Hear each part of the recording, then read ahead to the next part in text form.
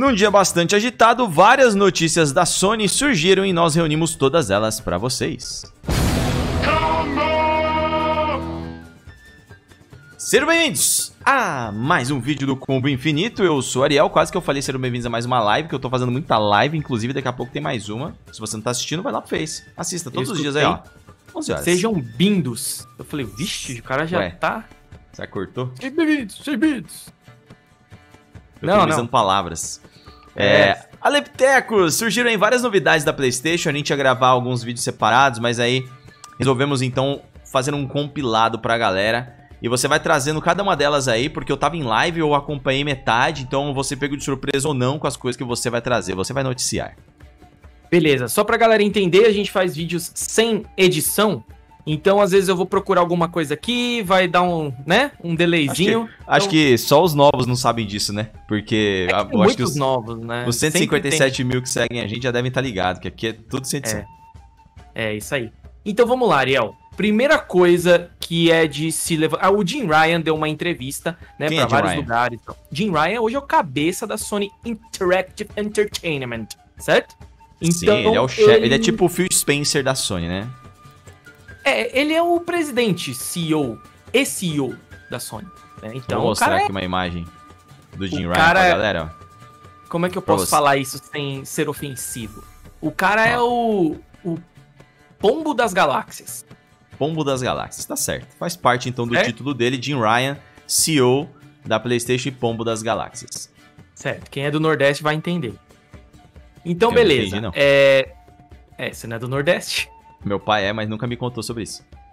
Sim, vamos lá então. É, PlayStation quer desenvolver os jogos, continuar desenvolvendo, né, os games japoneses para todo mundo. É, é, notório a gente saber, né, isso já já aconteceu algumas vezes, algumas notícias, inclusive, né? Não aconteceram. De que a Sony tá perdendo um pouco de mercado pra Nintendo lá no Japão. A Nintendo tá vendendo mais jogos, vendendo mais consoles, e a Sony precisa reforçar o seu mercado japonês, que é muito específico, tem muitas coisas voltadas mais pro nicho, né? Coisas que nem saem de lá. E, e tem muita Jim empresa Ryan... que aposta na PlayStation, né? Que desenvolve para os estúdios, da, para os, os consoles da PlayStation há muitos anos, né? Mas essa transição Sim. sempre pode fazer as coisas mudarem quando muda de console.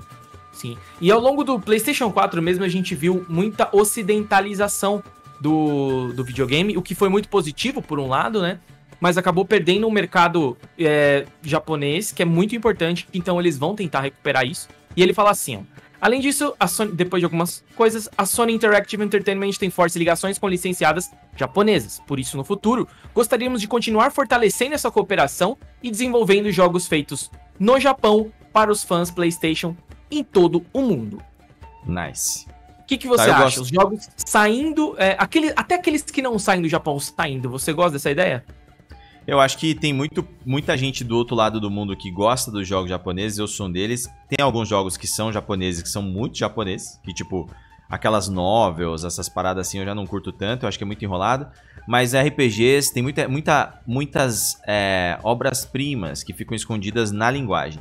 Temos que lembrar sempre que Acusa era um jogo pensado só para o Japão e depois agora se transformou numa parada muito ocidental e também tá para receber agora legendas em português que chega nessa semana, ou seja, tem muita coisa que é só para japonês ver que a gente também quer ver.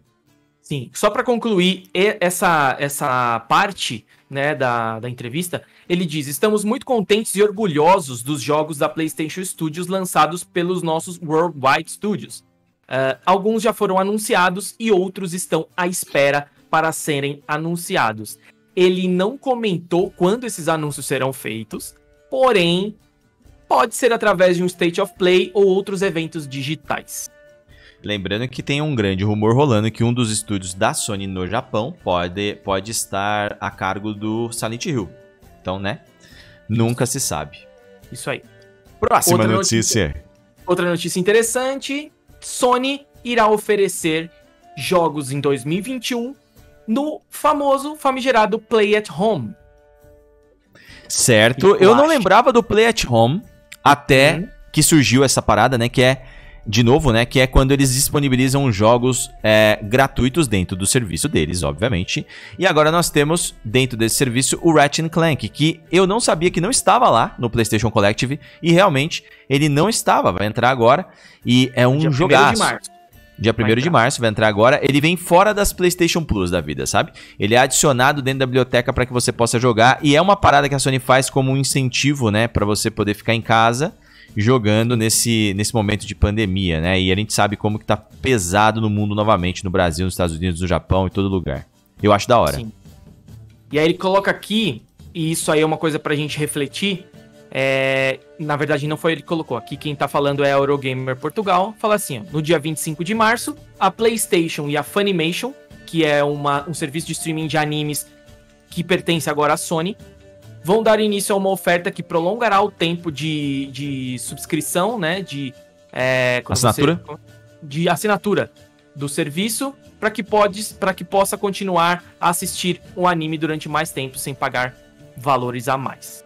Nice. Então, Legal, mas aqui ainda hora, não tem efeito, né? Parabéns é, a quem consegue. Exatamente. Agora começa a ficar bom o negócio. PlayStation VR de nova geração chegará ao PlayStation 5, anunciado oficialmente. E aí? É, isso aí eu, eu, era inevitável. Era inevitável. Eu quase comprei um PlayStation VR há seis meses atrás, do Killer Shinnok, inclusive. E aí eu pensei de novo, falei, putz, é o mano, melhor cliente do Killer Shinnok, hein? Comprei um controle. eu ia comprar o PlayStation VR, mas aí eu não. Porque eu queria dar uma força para ele. Lembra que era pra ele viajar? Claro, aí, claro. aí eu comprei o controle, expliquei. É. Ele tava vendendo um bom preço também, né? Tem que contar também, não é só porque eu queria ajudar, o preço também tava bom, né? Ah, exato. É, e aí eu justo. acabei. Ele foi justo. E aí eu comprei um controle dele que no final das contas eu acabei não usando, me adaptei, mas tá aqui, tá aqui guardado. Um dia vai valer milhões por ter sido do Shinnok, tem a digital dele. É, aí eu vejo. Cara, né? Tem o DNA do cara lá, né? Tem vale o DNA muito. do cara. Se bobear até a sujeirinha do dedo enquanto ele jogava, tentava fazer os, os joguinhos lá do, do, do Scorpion. Já dá pra Mas, fazer um clone dele já. Dá pra fazer um clone dele, olha aí. Agora, eu vejo com, com obviamente com bons olhos, porque é tecnologia que vai avançar e é inevitável, mas eu fico muito pensativo com quem comprou, porque se eu tivesse comprado o PlayStation VR há pouco tempo, com a promessa que a PlayStation fez de que ele seria, é, é, continuaria o suporte para ele e tudo mais, eu ficaria puto, porque vai ter um ano, um ano e meio de suporte. E até porque não tá, rolando, não tá rolando muito jogo em VR, sabe? E é assim. Esse é o que é o grande lance. É, então, mas é assim, a, a PlayStation continua apostando, e eu acho que para uma tecnologia como essa ficar boa, ela tem que ter esse tipo de incentivo. E querendo ou não, o PlayStation VR ainda. Custar um preço de um console também. Mas ele ainda é o mais barato, cara. Eu tentei. Pre... Eu é. falei, mano, eu vou comprar um de PC, né? Porque tem muito. Eu gosto muito dessa tecnologia. E o do, o do PlayStation custa 2,5, né? O do, o do PC, o mínimo, um que vale a pena, é 6 conto, velho. Então, se você for pensar nisso, o PlayStation VR ainda é a melhor entrada para esse mundo. Eu acho que esse novo aí vai chegar nessa mesma faixa. Então, é só que eles falam que vai ter um novo que... controle, né? Vai ter umas paradas que vai, vai, vai ser adicionada por causa do DualSense, né? Minha opinião, minha opinião, pela oferta e demanda, é uma péssima aquisição, na minha visão. Eu, Eu também é acho. É vão... Eu não sei como é que eles vão fazer com o PlayStation 5. Eles até deram umas declarações aqui, ó. Os jogadores vão sentir uma sensação de presença ainda maior e vão se sentir ainda mais integrados com os mundos dos jogos assim que colocarem um novo capacete. Quem falou isso foi o Hideaki Nishino, do Departamento de Planejamento e Gestão de Plataformas do PlayStation. Então, Ele a gente fala, tem que fazer uma... conectado... Só para finalizar é, aqui. Pode ir. Será conectado ao PlayStation 5 com um só cabo para simplificar a preparação e melhorar a facilidade de uso e permite também uma experiência visual de alta fidelidade. É Olha, um isso é interessante, hardware, cara. Né, pra... Mas isso é interessante, porque o PlayStation VR eu não, não tenho, mas o meu cunhado tem aqui de vez em quando, é, ele me empresta. Hum. É uma caralhada de cabo, é uma outra peça e, mano, é um perigo, velho. É, de você puxar alguma coisa, sei lá. Eu acho que então esse novo é, capacete ele vai trazer nele mesmo uma evolução, porque o Quest 2 do Facebook, por exemplo, ele tem bastante hum. coisa né, direto no capacete, né? Capacidade técnica. Então acho que a PlayStation vai nessa onda.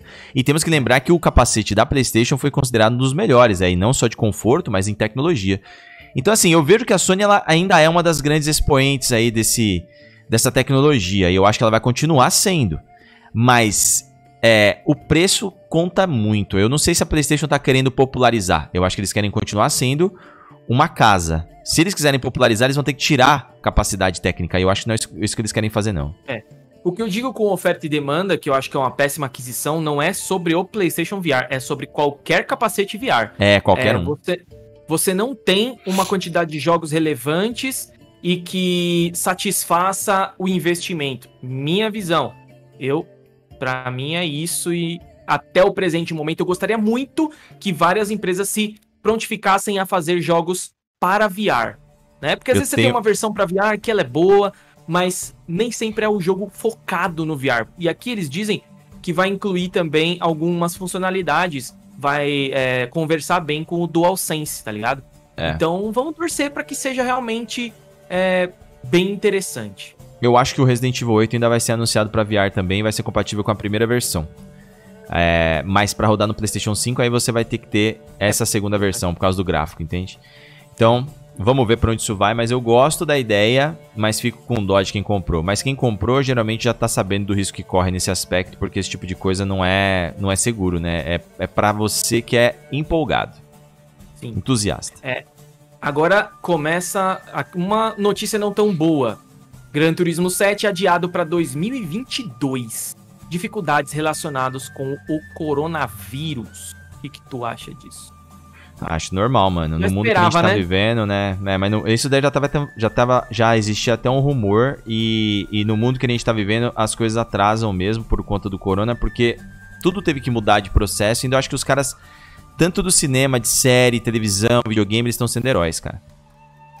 É, aqui eles dizem assim, ó, GT7 foi afetado por desafios na produção relacionados ao Covid e sendo é, passando de 2021 para 2022. Com a pandemia, é uma situação difícil, a alteração de alguns aspectos importantes na produção abrandaram ao longo dos últimos meses. A gente tem que lembrar Vamos que quem desenvolve o Gran mais- Turismo. Ah, você tem mais? Vai lá. É, vamos compartilhar mais especificidades da data de lançamento de GT7 quando disponíveis. Eles disseram que vai para 2022, mas não deram nenhuma data. janela específica. Deve ser o começo. Mas eu acho que a- o grande problema é que no Japão o Covid nos últimos meses pegou muito pesado. E a- acho que é Polyphony, se eu não me engano, é a empresa que faz o, o Polyphony. É que é com Y, né? É, eles, eles são japoneses, né? Então eu acho que eles têm que sair do Japão para poder testar carros e, e capturar carros também. E ao mesmo tempo não pode receber ninguém de fora. Então, tipo, tá meio complicado, entende? Então eu acho que tem, tem sentido. É é um adiamento necessário. É, eu só não sei. É, é, também acho. Isso aí também, mais ou menos por aí. Agora, uma, uma notícia que, enfim, pode agradar a alguns e preocupar a outros, Ariel. Onde você se encontra nesse? Horizon Forbidden West vai chegar no final de 2021, né? O Jim Ryan confirmou.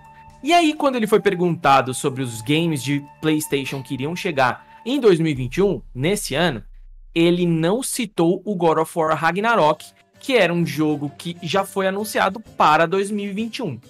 Você acha que ele esqueceu? Você acha que ele escondeu? Ou você acha que ele não quis dizer que o Ragnarok também vai ser é, adiado? Ragnarok só chega em 2022 e olha lá, mano. Eu não, não consigo ver God of War chegando em 2021, mas acho que se o Jim Ryan deu uma de louco, pode ter sido sim, porque ele não quer falar, não pode falar, ou porque eles estão guardando alguma surpresa. A gente tem que lembrar que esse ano vem Ratchet Clank ainda, vem o Returnal e vem o Horizon Zero Dawn. Esses são os grandes exclusivos da PlayStation no ano, fora o GT que agora foi para 2022. Se Sim. o que a Sony busca, que é lançar mais exclusivos no mesmo ano, for alcançado, aí a gente pode esperar pelo, pelo, pelo God of War. Mas aí ele vai ser tipo um jogo que eles vão chegar numa E3 ou num formato desse gênero e fazer, tipo assim, um estouro. Já mostrar gameplay, já mostrar data e tudo mais e chegar logo, sabe? E Eu abre pré-venda. Mas eu acho Sério. difícil. Acho que é Eu fico 2022. pensando, eu fico pensando assim, é o Ratchet Clank é junho. O, o Re- Returnal é abril. Foi, era março, foi pra abril, É. não é isso? Não sei. O Horizon Zero Dawn, uh, Horizon Forbidden West pro final do ano, vamos supor ali que seja setembro, outubro, talvez no máximo estourando novembro. Novembro é difícil porque tem muita competição, tem COD, tem umas coisas que eu acho que talvez não seja tão interessante assim lançar pra competir. Então, é. o que sobraria? Pro, qual a janela que sobraria pro God of War? É meio difícil, né? Porque você tem. Setembro. É, digamos que. Setembro. Setembro. Por quê? Porque em 2018, quando a gente viu a chegada do Spider-Man, o God of War chegou em abril e o Spider-Man chegou em setembro. Setembro. E, na, e, em junho, a gente também teve um exclusivo da PlayStation, mas não foi tão grande, né? O Ratchet Clank, Ratchet Clank, por mais que seja um jogaço, ele, ele é de um público diferente, um pouquinho diferente do God of War e do, do Returnal, por exemplo. É um, a gente pode pôr que o Ratchet Clank vai, vai atingir um público também mais criança, enquanto que o God of War é só adulto, né? Então eu acho que setembro poderia ser uma data incrível pro God of War chegar. Aí a gente pode ver que a PlayStation no seu primeiro ano já tá conseguindo pôr em prática aquela ideia de mais exclusivos por ano e com uma janela entre um e outro bem interessante isso acontecer, cara. Mas é, você acha é. que o Horizon Zero Dawn tá menos avançado que o God of War, mano? Eu não Forbidden acredito West. nisso. Eu não Forbidden acredito. West. Forbidden é, West. o Forbidden West, é. O Horizon Cara, ele tá mais, mais, menos avançado, porque para isso acontecer, o God of War tem que estar tá muito adiantado. Só que é o que eu falei, os caras estão escondendo muito bem teoricamente, o Horizon Zero Dawn é, e o Forbidden West. O Forbidden West, teoricamente, tem mais anos de produção, né? Se você uhum. for ver que ele foi lançado em 2017 17. e o God of War em 2018. Entretanto, o Forbidden West tem um uma DLC, né? Que eles trabalharam e tal. É mesmo? Então, mas acho que, sei lá, cara, por, tem a parte do, da estratégia de lançamento, que aí eu acho que é possível os caras pensarem para o ano que vem. E tem a parte de estratégia de, de produção, né? Se realmente o jogo tá onde eles querem que esteja, né? Eu acho que é de se pensar. Você levantou uma questão muito interessante. Não sei, eu não sei responder, cara. Eu, God of War a gente não viu praticamente nada, né? Só uma logo. O, o Horizon a gente já viu algumas coisas. Então, mas eu acho que tem uma diferença entre os dois. O Horizon, ele vai querer fazer um uso muito muito Quer dizer, não vai mais porque ele vai ser Play 4, mas ele, ele, ele teria que fazer um grande uso do SSD para ser uma, uma parada diferente. Mas mesmo assim, eles ainda prometem um mundo melhor e blá blá blá. É, O God of War, eu acho que. E isso eu não vejo como algo negativo, porque o, eu acho que o que eles fizeram com esse God of War não pode ser descartado com o primeiro, né? Eu acho que eles vão reaproveitar muita coisa no, no aspecto de jogabilidade e de formato. Não é um jogo de mundo aberto, mas vão manter um, uma parte aberta. É, não é um jogo totalmente do ponto A ao B, mas do ponto A, B a C. Eles vão fazer do ponto A, B, C e D. Tipo, não vai, não vai aumentar tanto. A, então eu acho que. É, a, B, eu, eu acho que seria, seria bem provável sair em setembro. Eles sabem do tamanho que esse jogo é, do tamanho que esse jogo tem. E se eles não conseguirem cumprir no primeiro ano do PlayStation 5 essa questão de vamos fazer mais em menos tempo, quando é que eles vão conseguir cumprir? Não sei, né? É, é uma pergunta boa. Agora, uma questão mercadológica para finalizar. Para finalizar, não, depois tem um bônus aí, se você, você vai ter. É, um em cada quatro compradores de PlayStation 5 nunca tiveram um PlayStation 4. Então, assim, você tem quatro compradores, três deles vieram da geração anterior, vieram, te possuíram um PlayStation 4. Um não possuiu. É certo. uma estratégia que eles estão abocanhando públicos novos ah, com certeza, né, cara? A gente tá vendo que o videogame tá vendendo muito bem. Eles venderam é, mais do que eles esperavam para esse início de geração. Mas tem uma, um diferencial aí, viu, cara? Que é as duas empresas não se prepararam tão bem para termos de estoque.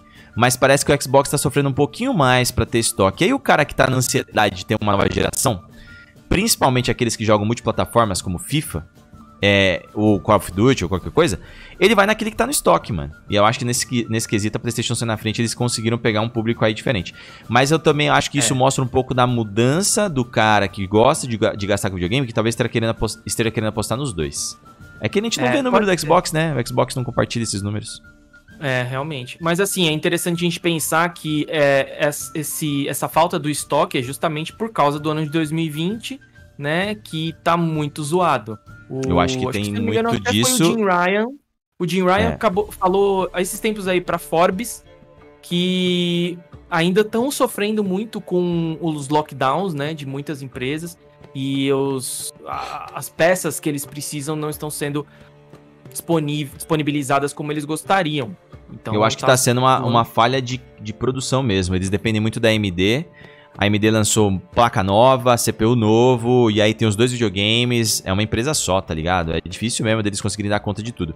Mas também, sim, com certeza É, mas tem a ver tiveram com... 2020 toda pra poder pensar nisso. Porém, com a pandemia, não aconteceu, tá ligado? Uhum. Então acho que vão sofrer ainda mais um bom tempo em relação a isso. E o bônus, o bônus stage não tem nada a ver com oficialidades agora. A gente vai pro campo do rumor, que a galera ama, ama de paixão. É. Que é o seguinte, Ariel. Você gosta do fato da Sony estar próxima de comprar a Bluepoint? Rumor. Rumor. Le- Lembrando que a Bluepoint desenvolveu o Shadow of the Colossus Remake e o Demon Souls Remake, dois grandiosos jogos da biblioteca PlayStation durante muitos anos. E eu postei sobre isso no Twitter, inclusive, linkando a nossa notícia do Combo Infinito, do nosso site. Se a Sony não fez isso ainda, tá perdendo tempo. A Bluepoint é uma empresa que já se provou ser excelente, é uma empresa que depende é, só da Sony agora para ser adquirida. E por que, que ela, pode, ela, ela deveria ser adquirida? Para que tanto a Bluepoint possa ter segurança de trabalhar, ser criativa sem pensar no seu amanhã, e a PlayStation também ter a Bluepoint sem pensar se amanhã o Xbox não vai chegar lá e pegar eles para eles, sabe? Então, passou da hora, cara. A Bluepoint é um caso Insomniac. Vai sair barato e vai fazer muita coisa boa. Já tá provado.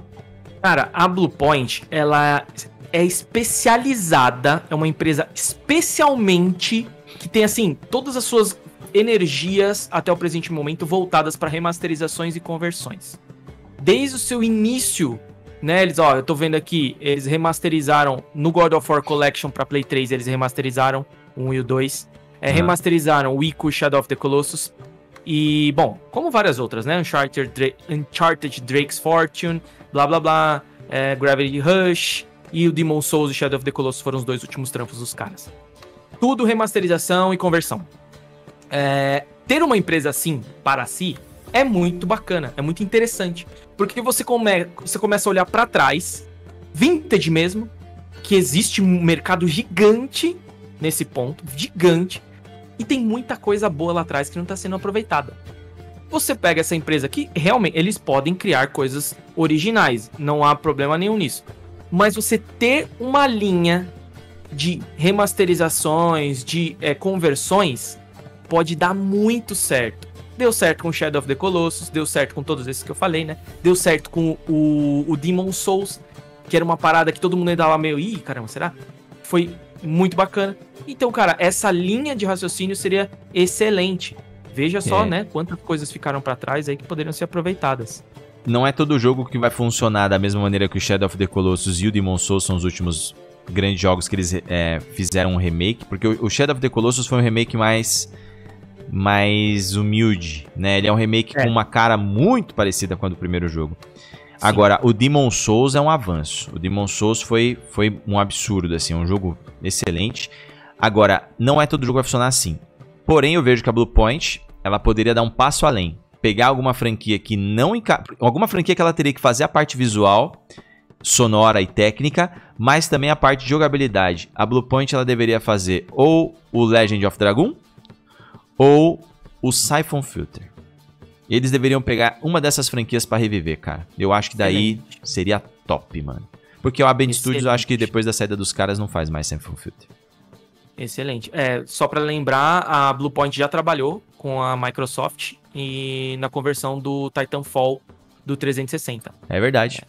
É verdade. Então, só pra vocês terem uma ideia, é, seria interessante essa aquisição e, enfim, parece que tá rolando aí. Mas são rumores que ainda estão muito fracos, não tem ninguém ainda respeitado, entre aspas, que Algum insight. falou, falou sobre o assunto. Mas faria muito sentido, porque eles já trabalham juntos há algum tempo e eu acho que é, encaixaria bem. É isso aí. Então, comentem o que vocês têm a dizer, porque são muitos rumores, são muitas ideias, mas ao mesmo tempo nesse vídeo também teve muita notícia, coisas que saíram e a gente teve que fazer um compilado pra vocês. Sempre que surgir Só alguma informação vocês. muito grande, a gente faz isso. Aí. Só pra vocês que sentiram falta do Days Gone pra PC, a gente já falou nisso Já num fez. vídeo, tá aí no canal, então vocês depois procurem aí que ficou bem legal. Comentem, um abraço, até o próximo vídeo do Combo Infinito. Deixe seu like seu e compartilhe. Valeu. Ué, deixa seu like seu. Comente o que, que você quer deixar também, valeu. Valeu.